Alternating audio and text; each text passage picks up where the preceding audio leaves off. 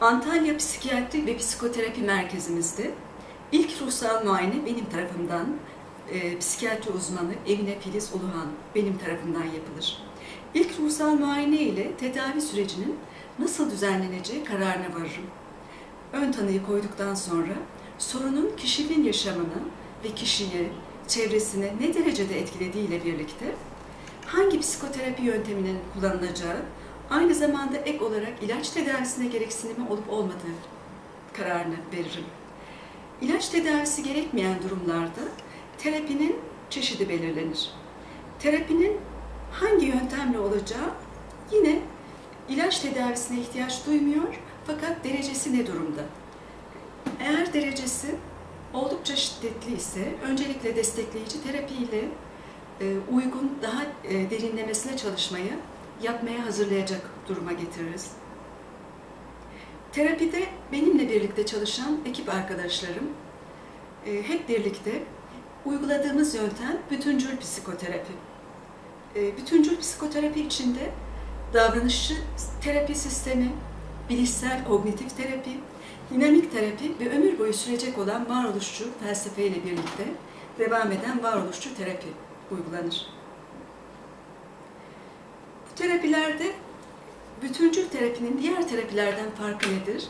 Herhangi bir terapi çeşidini kısıtlamadan, herhangi birine birini kabul edip diğerlerini reddetmeden, tümünü kabul eden, yani birleşme, bütünleştirme dediğimiz e, gerçek sağlıklılık, iyilik durumunu kabullenerek götürülen bir yöntem. E, burada aynı zamanda kültürel özellikler de göz önünde tutulur. Kültürel özellikler dışlanarak e, sadece tek bir sistemin içinde, tek bir terapi usulünün içinde sıkışmış halde davranmayız. E, yerine göre her hasta, hastalık değil hasta vardır, danışan vardır dediğimizde her kişinin ihtiyacı değişebilir, gün içinde değişebilir, zaman içinde değişebilir. O anda hangi e, ekol onun e, durumu için yeterli olacaksa, destekleyecekse, iyi gelecekse, gerçekten iyileşmesine, gerçek kendilik dediğimiz duruma doğru ilerlemesine, gerçek varlığını yaşamasına yardımcı olacaksa, o tekniği ön plana alarak tüm teknikleri alet çantamızda toplayarak devam ederiz. Burada ilk yapılan anlatma, bilgilendirme, iyi bir eğitim. Anlatma ve bilgilendirme ile e, eğitimle birlikte iç yapıya doğru işlenmesi anlamında çalışmaya devam edilir ve bu dönemde kavrama, içgörü kazanma dediğimiz durum ortaya çıkar.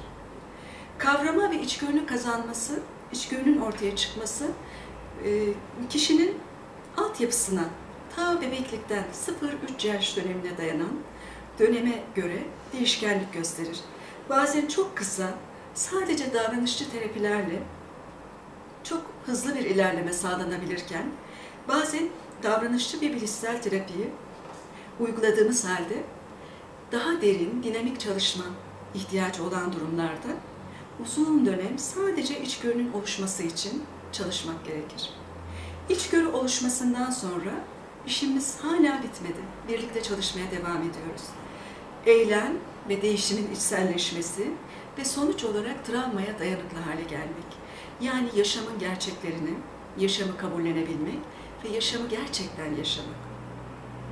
Yaşamı gerçekten yaşamak dediğimizde temel güven, hem kendine hem yaşama hem diğerlerine güven, hem kendinde hem diğerlerinde hem yaşamda iyiliklerin, iyi şeylerin varlığı ve bu anlamda karşımıza çıkabilecek tüm olaylarda daha iyiye doğru gidebilme gücünü ortaya koyabilmek.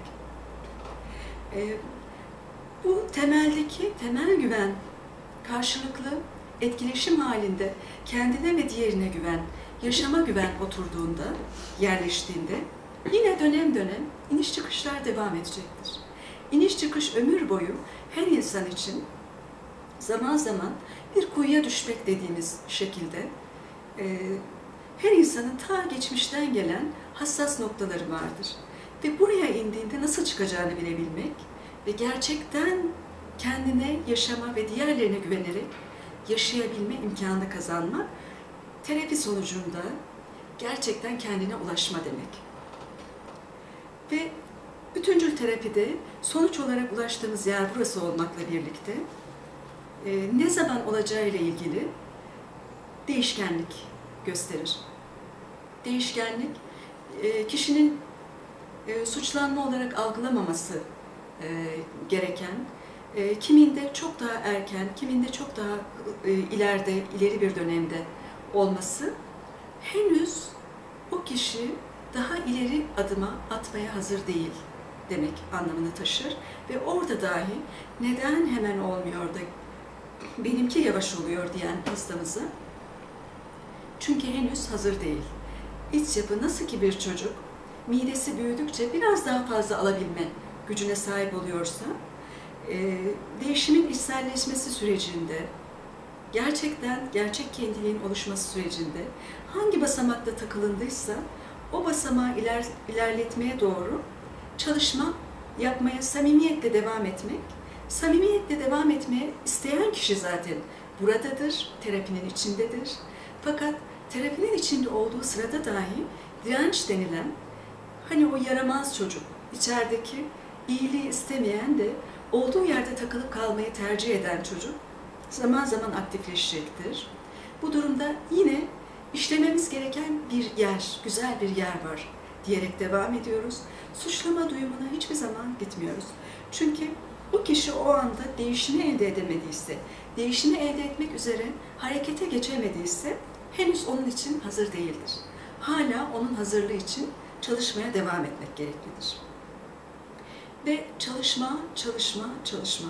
Önce inanmak, önce gerçekten inanmak, daha sonra istemek ve severek çalışmak. Bunların sonucunda istediğimiz yer kendimiz, gerçek kendilik. Ve orası çok kolay, çok rahat. Ee, aslında sıradanlığın kolaylığı ve basitliği dediğimiz şey. Arkasında, önünde, e, o öyle mi yapacak, aşağılanma duyumu, sevilmeme duyumları ya da kullanılmış olma duyumları gibi pek çok duyumdan, pek çok olumsuz varsayımdan uzaklaşarak gerçekten yaşamla baş etmek. Bütüncül psikoterapi sizi size yani kişinin kendini kendine hediye edecektir. Bunu aslında siz kendinize hediye etmiş oluyorsunuz. Terapi dediğimiz şeyde bazen ben geleyim, hipnoz olayım ya da bana bir şey yapın doktor, iyileştirin beni diyerek talepler gelir. Burada en başta söyleyeceğimiz şey şu. İçinizdeki güç, içinizdeki yeterlilik size bunu sağlayacak. Biz sadece bunun farkında olmanız için yanınızdaki rehber olacağız. Sizi iyileştiren biz değil, kendinizsiniz. Fakat bu iyileşme sürecinde bütüncül terapi denilen yöntem e, tüm insanlar özellikle de bizim ülkemiz ve kültürel yapılar için oldukça güzel etkinlik gösteren, sınanmış, bugüne kadar yaptığımız çalışmalarda başarı göstermiş güzel bir çalışma şekli. Ve sizi de bu güzel çalışma şeklini uygulamak üzere bizimle çalışmaya davet ediyoruz. Teşekkürler. Ay çok güzel ya. Kayıt